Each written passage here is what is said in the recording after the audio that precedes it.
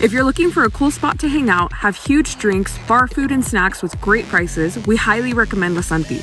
We came to their location in the Condesa. What initially grabbed our attention was that they have a whole menu full of promotions for their happy hour. From Tuesday to Saturday, you'll find their happy hour menu with great prices, including beer starting at 25 pesos. To drink, Emma ordered their puchon, which is more than two liters. Emma loves to see the bartenders in action, so he recorded this other azulito drink for you guys to see. This drink is called the Miche Calabaza, which I ordered from their seasonal menu. This is a mango bola with Bacardi. And here the Santi Cooler and Santi Sky. We couldn't forget their margachellas like this mango one. To start eating, Emma ordered the Nunca He Venido combo, which has wings, fries, corn dogs, and mozzarella sticks. I ordered a classic hamburger with a side of fries.